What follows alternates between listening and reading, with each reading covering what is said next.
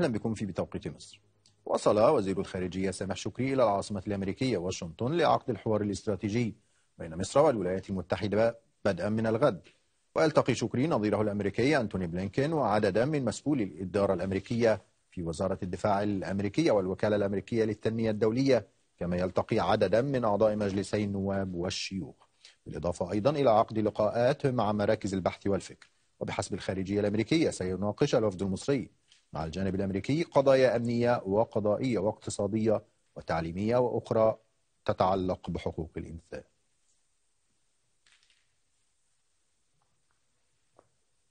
نرحب من نيويورك بالأستاذ محمد السطوحي الكاتب الصحفي. أستاذ محمد أهلا بك أهلا وسهلا.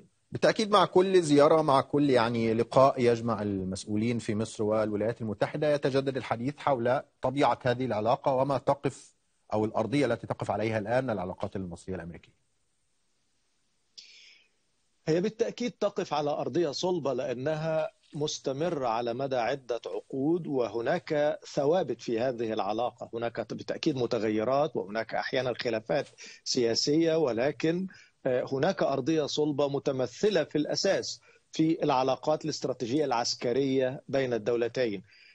وهي ما زالت حجر الزاوية في هذه العلاقات التي يبنى عليها في مجالات مختلفة. بالتأكيد هناك أشياء سوف يثار الجدل بشأنها قضايا إقليمية ودولية لكن بشكل عام الولايات المتحدة عندما تجري حوارا استراتيجيا مع دولة ما القضية ليست أن هناك عناوين براقة من الممكن أن ننتظرها ونتائج مفاجئة من الممكن أن تخرج عن هذه الاجتماعات ولكن هي في حد ذاتها مؤشر رمزي على الأقل لما توليه الولايات المتحدة من أهمية لهذه العلاقات. هناك جزء آخر خاص بها وهو العلاقة المؤسساتية بين الولايات المتحدة ومصر الآن لأنه كما رأينا مثلا في فترة دونالد ترامب لم يكن هناك مثل هذا الحوار الاستراتيجي ولكن مع هذا كانت هناك علاقات جيدة على الأقل على مستوى القمة بين الرئيسين. لم تعد هناك مثل هذه العلاقة المقربة في الوقت الحالي ولكن يملأ الفراغ هذه العلاقة المؤسساتية التي ومن هنا ربما يأتي أهمية هذه اللقاءات يعني اللقاءات الاستراتيجية واللقاءات التي تتبادل وجهات النظر ربما تكون ملحة أكثر عندما تكون العلاقات يعني يشوبها بعض الشوائب ما دامت العلاقات يعني في أفضل حال كما كان الحال في ترامب في فترة ترامب ربما لم تكن هناك حاجة أصلا للقاءات يعني يتم التناقش بشأنها. هو يظل هناك مثل هذه الحاجة في طوال الأوقات لأنه علينا أن نعود تاريخيا. يعني هذه العلاقات الاستراتيجية أو الحوار الاستراتيجي بدأ أثناء فترة بيل كلينتون سنة 98 وكانت العلاقات جيدة جدا بين الدولتين. فبالتالي يعني جودة العلاقات ليست بديلا عن هذا الحوار الاستراتيجي. ولكنه يصبح أكثر أهمية عندما لا تكون العلاقة متوائمة تماما وهناك بعض الخلافات على على الأقل على مستوى قمة المؤسستين أو الدولتين كما هو الحال الآن. وإن كانت العلاقات قد تحسنت بعض الشيء خلال نعم. الفترة الأخيرة خاصة بعد أزمة غزة. نعم. إذا لو وضعنا على الطاولة الملفات التي يمكن أن يكون عليها توافق بين الإدارة المصرية والنظام المصري والإدارة المصرية والنقاط الأخرى التي عليها خلاف وتحتاج إلى مزيد من النقاش حولها. يعني كيف تقيم أو كيف ترصد الملفات التي عليها توافق والملفات التي عليها خلاف؟ الملف الأساسي الذي عليه توافق من وجهة نظري هو الملف الفلسطيني الإسرائيلي. وتلاحظ أنه بعد غياب فترة تواصل بين الرئيسين جاءت أزمة غزة والدور المصري الكبير بالنسبة لتهدئة الأوضاع هناك ومحاولات وقف إطلاق النار واستقراره وأيضا التوصل إلى تفاهم لربما تبادل الأسرى وجثث بعض الجنود الإسرائيليين وغيره. م. هذه كلها قضايا هناك توافق كبير بين الدولتين بالنسبة للم المسار الذي تتجه إليه. كان هناك أيضا دعوة للرئيس الفلسطيني وملك الأردن مؤخرا من أجل محاولة إحياء العملية السياسية. أيضا واشنطن موافقة ومهتمه بهذا الأمر. وإن كان هناك طبعا نوع من الإقرار إنه لن تصل هذه الأمور إلى شيء كبير في ظل وجود الحكومة الإسرائيلية الحالية بتركيبتها التي نراها الآن. ولكن بعض القضايا التي من الممكن أن نقول إنها خلافية ولكن لا أعتقد أنها من الممكن أن تضر أو تدمر العلاقة بين الدولتين، هناك بعض الخلاف حول طريقة التعامل مع الأزمة السودانية الأخيرة مثلا.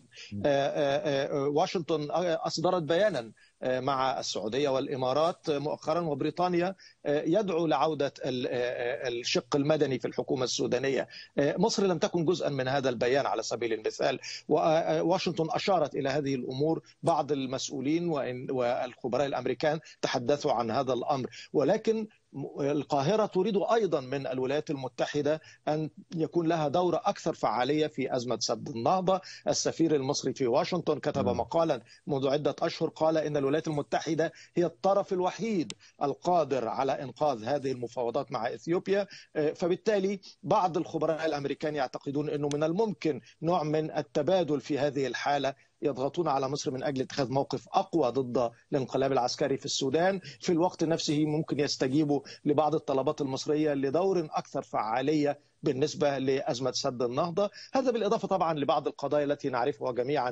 المرتبطة بقضية حقوق الإنسان. نعم، اذا إذا توقفنا أمام هذه القضية قضية حقوق الإنسان باعتبارها يعني القضية أو الملف الذي يكون دائما محل تساؤلات أو محل يعني شد وجذب في العلاقات المصرية الأمريكية.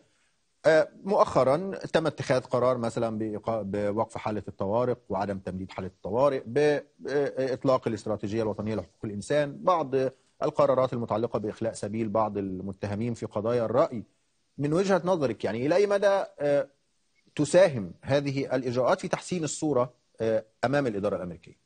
وهل هي كافية أم لا؟ هو هو طبعا يعني أنا أذكر إن كان لنا لقاءات عديدة بالنسبة لهذا الموضوع ومع انتخاب جو بايدن وأنا كان رأيي منذ البداية إنه هذه مسألة لها أهمية بالنسبة للإدارة الجديدة الديمقراطية لكنها لن تكون عاملا أساسيا في تشكيل العلاقات الاستراتيجية بين الدولتين وما زلت يعني أعتقد في هذه النظرية أن الولايات المتحدة وإن كانت أكثر اهتماما الآن منها عما كانت عليه في إدارة دونالد ترامب. لكن هذا الاهتمام بقضية حقوق الإنسان ليس المحور أو حجر الزاوية في تشكيل العلاقات لأن هناك مصالح استراتيجية بين الدولتين لا يمكن التفريط فيها.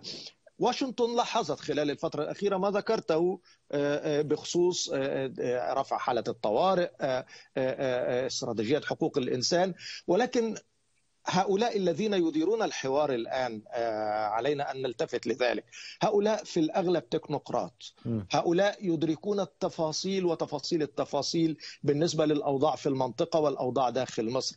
وبالتالي هم ربما يعني يستجيبون إلى حد ما ايجابيا بالنسبة لهذه التطورات، لكنهم يدركون أيضا أنها أو لا يعتبرونها كافية وبالتالي يضغطون من أجل المزيد، لكنهم يعتبرون أيضا إنه الضغوط التي تمت مؤخرا ووضع هذه هذا الملف في ضمن القضايا المطروحة في علاقات الدولتين كان له أثر إيجابي وإن كان محدودا من وجهة نظرهم وبالتالي هم يعتقدون إنه المزيد من العلاقة، المزيد من الحوار من الممكن أن يؤدي إلى المزيد من من النتائج الإيجابية مستقبلا. ومن هنا ربما يأتي هذا الحوار الاستراتيجي في هذا التوقيت الآن. هو جزء من التعبير عن الاهتمام بالعلاقة لكنه أيضا من وجهة نظرهم يساعد بالنسبة لتطوير الملفات التي عليها خلافات بين الدولتين. نعم، هل تتوقع أن تكون هناك زيارة قريبة للرئيس عبد الفتاح السيسي إلى واشنطن؟ باعتبارها يعني زيارة مرتقبة ومنتظره وربما تؤشر إلى يعني تعطي كثير من الدلالات؟ إذا سألتني بصراحة أنا لا أعتقد أنه في المستقبل القريب سيكون مثل هناك مثل هذه الزيارة. ربما إذا ما حدثت تطورات كبيرة في بعض الملفات التي تستدعي ذلك. وخصوصا إذا كان هناك أزمات إقليمية تتطلب ذلك أو إنه حدث تطور كبير إيجابي في ملفات حقوق الإنسان تراه واشنطن مؤشرا يجب تشجيعه في علاقات الدولتين. من الممكن انه ربما يكون هناك مثل هذه هذا التفكير. طب ما هذا يعني إنه أن, أن هذه الملفات تؤثر هي على طبيعة العلاقات؟ يعني الزيارات التي كان يقوم بها الرئيس السيسي للولايات المتحدة سواء زيارات ثنائية يعني للقاء دونالد ترامب أو حتى خلال الاجتماعات الخاصة بالأمم المتحدة لم تعد تحدث. فبالتالي على مستوى الرؤساء فبالتالي هناك تأثير واضح وقوي هو يتعلق ب زيارة أو الترحيب بالرئيس السيسي في واشنطن. كما ترى شكل العلاقة الأساسي وجوهرها مستمر ومستقر مثل هذه الزيارات الرئاسية هي بالمفهوم واشنطن بالطريقة م. التي تفكر بها هم يعتبرون منح زيارات لأي رئيس دولة نوع من المكافأة أو نوع من إظهار دعم. الدعم م. وبالتالي لا أعتقد أنهم في هذه المرحلة بعد بالنسبة للرئيس السيسي م. وإن كنت أعتقد أنهم مؤمنون أو يدركون أهمية استقرار العلاقة وثباتها وطريقة نموها. لاحظ أن واشنطن أيضا تريد استقرارا داخل مصر. تريد ألا يحدث أي اهتزاز أمني أو أو اهتزاز في عدم الاستقرار الاقتصادي والسياسي وبالتالي هم لا يريدون اتخاذ أي إجراءات أو التصرف بطريقة من الممكن أن تؤثر سلبيا على الأمور داخل مصر أيضا نعم. فبالتالي هم يوازنون علاقتهم مع مصر في إطار بعض المثاليات أو القيم الديمقراطية التي يتحدثون عنها لكن بالأساس في إطار العوامل الأساسية لاستقرار علاقة على مستويات سياسية مم. عسكرية وبما لا يؤثر على ملفات أهم كما أشرت الملفات السياسية الإقليمية العسكرية. في التالي لو هناك ترتيب ربما تأتي هذه الأمور في مرتبة متأخرة قليلا عن بعض الملفات الأخرى. أشكرك شكرا جزيلا من نيويورك الأستاذ محمد السطوحي الكاتب الصحفي.